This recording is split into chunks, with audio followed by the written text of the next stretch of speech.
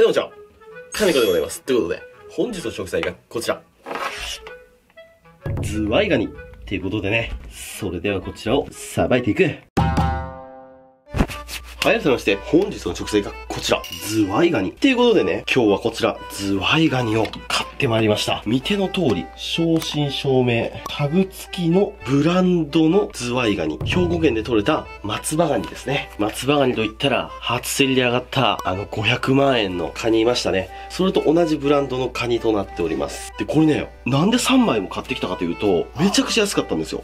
1杯3000円です。これってすごく破格で、普通のズワイガニよりちょっと高いぐらいの金額なんですよ。安い理由なんですけど、なんでかというと、ほら、こう見たときに、足が2本なかったりだとか、爪が1個なくて足が2本なかったりだとか、こういうね、要するに訳あり物だから、こう安かったですね。いやでもそれでも1杯3000円は安いよということで、3杯買ってまいりました。なので今日はこちらの新鮮な生きてる松葉ガニを使って、松葉ガニのお刺身を作っていきたいと思います。お刺身は生きたズワイガニじゃないとできませんので。で、3杯もいますんで、2匹はお刺身、1匹は蒸して食べたいと思います。で、甲羅の味噌は甲羅に詰めて甲羅焼きにして食べていきたいと思います。そんじゃあ、まずは蒸していこうかな。ここにね、点々いっぱいついてますよね。これね、カニビルっていう寄生虫の卵ですね。これがたくさんついてるカニは美味しいと覚えておいてください。脱皮してないので、身が痩せてないです。でね、このカニビルの卵の中にね、入ってるんですよ、カニビルが。ちょっと閲覧注意ですけどね。見れる人だけ見てください。よしいきますよ。ほら、ニュッとこう出てきたでしょ？こうやって。これがカニビルですね。これ一見アニサキスみたいなんですけど、アニサキスではございません。これ一応食べても害はないみたいですね。でも、ちょっと気持ち悪いですよね。でもこれまだ子供で大きくなるともっともっと大きくなります。あ、そうだ。で、ズワイガニについて補足なんですけど、皆さんが一般的に食べるこのぐらいの大きさのズワイガニっていうのは、全部オスになります。で、メスのズワイガニっていうのは、セコガニって言って、もう最大でこのぐらいの大きさにしかなりません。なので、大きいズワイガニはみんなオス。そういう風に覚えておいてください。そしたら、蒸し器をセット。で、そこにズワイガニを入れて、蓋をして、15分ほど蒸していきます。よし、そしたら蒸してる間に、お刺身用のカニをさばいていきます。まず、カニを裏側に向けます。で、ふんどし。これをペロッとめくって、で、ここに切れ込みを入れます。ういう感じ。そしたら足と爪を全部持って、こっち側に折り曲げます。せーの。よいしょ。こうするとパカッと取れます。で、こっち側も一緒。持って、こっち側にグッと。こんな感じですね。そしたら、ふんどしを外して、ここにくちばしがありますんで、くちばしもガコッとこんな感じですね。そしたらこのように味噌だけが残りますので、水にさらします。水にさらしても味噌がこう水に溶けることはありません。こうシャバシャバして汚れを落とします。もう一回いきますね。ふんどしをめくる。真ん中に切れ込みを入れる。で、切れ込み入れるときは、くちばしのここ、付け根から、ここから入れます。で、足と爪を持って、ポキッと。味噌を落として、こっち側も足を持って、ポキッと。で、ふんどしを外して、で、くちばしを外します。で、味噌は水の中へ。はい、この状態までできました。そしたら次はこの胴のみと足の処理ですね。この形になれば、だいぶ皆さん見慣れた形になりましたね。ヒレヒレを取ります。このエラはどのカニにも共通して言えることなんですけど、基本的に食べません。ここが好きで食べる人はね、まあいないですね。美味しくないし、汚れが溜まってますので、バッチリです。そしたら足を外していきます。足を外すときは、まるっきり付け根から落とすんじゃなくて、僕はここら辺から斜めに落とします。こんな感じ。こういう感じ。で、全部落としていきます。爪も一緒。全部こういう風に落としていきます。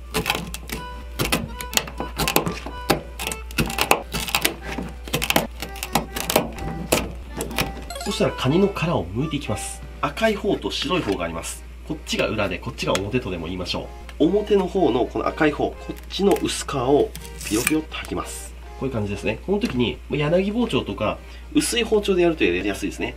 で、ここの付け根、ここの殻をちょんちょんとこう切ります。こういう風に切れ込みが入りました。ここにね。で、切れ込みが入ったら、これを外側に折り曲げます。パキッと。外側にこういう風に折り曲がったら、次は内側に引いていきます。ピロピロピロピロピロと。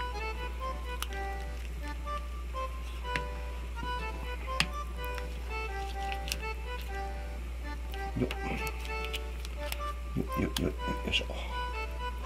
そうするとこんな感じにめくれます。もう一回いきますね。赤い方からさささっと。一発でいけなかったらまあ2回ぐらいやってください。でここに切れ込みを1個。2個入れます。で外側に折って折った身をせーの。ピロピロピロピロピロピロピロと。よいしょ。これはかなりうまくいきましたね。こういう感じ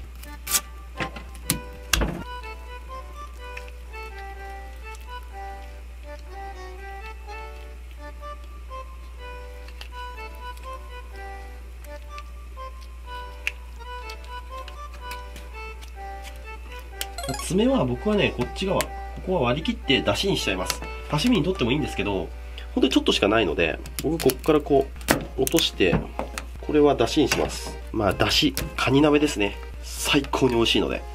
爪も僕は、出汁にしちゃうことが多いんですけど、今日は刺身にしましょうか。こうやって削ります。で、爪はかなり硬いので、こういう出刃とか厚めの包丁がいいですね。爪もこういう風に切れ込みを入れますでこう平たいものでこうやって膜を外します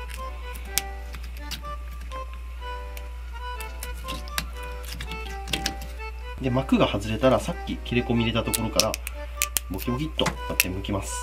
そうすると爪もこういう風に刺身状にできます。松葉ガニの由来なんですけどそれはこの剥いた身を氷水でさらしておくとパッと開くんですね。その開いた様が松葉のように美しいってところから松葉ガニという名前が来てるとそういう話聞いたことあります。まずは氷水を用意します。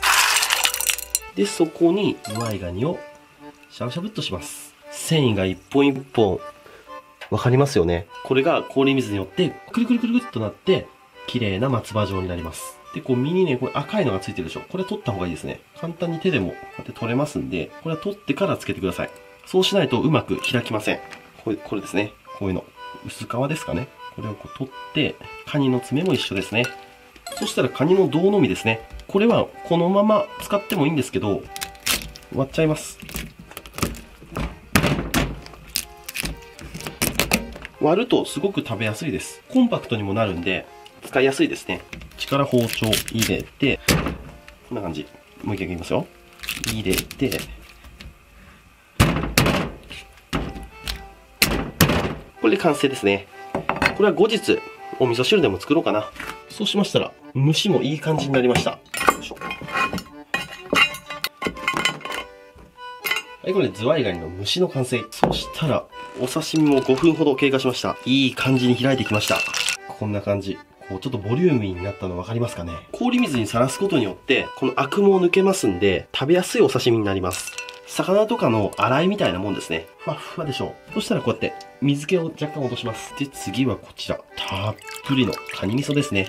カニ味噌も水から上げて、この甲羅の中に戻します。たっぷりね。で、このちっちゃい足の実とかをこう剥いて入れます。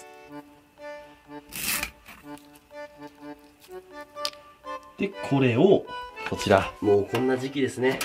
石油ストーブ。石油ストーブの上にアルミホイルを敷いて乗せる。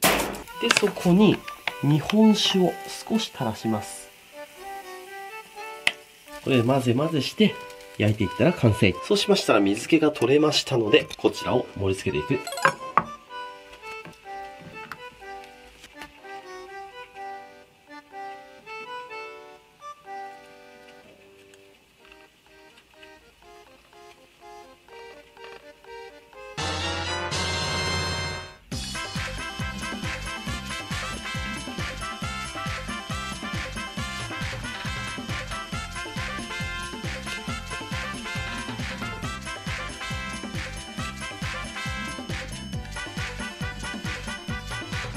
はい、じゃあ完成。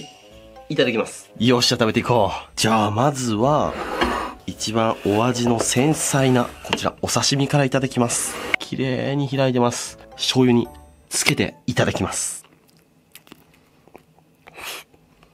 うーん、うま甘すぎる。2本、筋が入ってるんですね。でこの筋に一本一本の繊維が繋がってるんですけど、口の中でこの筋から外された時、口口の中に甘みがドンって旨みがバンどえらうまい。やっぱ松葉ガニのカニ刺しはうまいわ。次はこちら。定番の蒸しズワイガニ。ふんどしを外して、味噌もたっぷり。まずはこのお味噌からいただきます。うめえ。濃厚だな、この味噌。臭みがない。次は、こちら、足。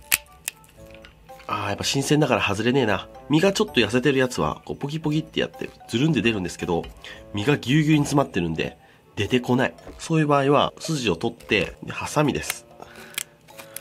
両サイド、切り落とします。で、開けて、で、つるつるつるっと、いただきます。うわーお。こんなにうまいんだ。今日はね、蒸しただけなんで、塩味とかもほんと素材が持ってる塩分しか使ってない。それがまたいいんですわ。で、蒸すことによってね、旨味が逃げないような気がします。ではでは、次はこちら、カニの甲羅焼き。身も少し入っております。いただきます。うまい。ちょ、誰かお酒持ってきて。せーの、でんギオのやつ。横にあったんで持ってきました。これは合うぜ。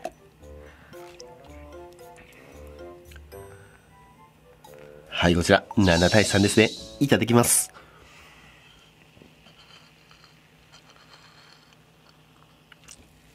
うめえ本当に美味しい。それじっくり食べていくよ。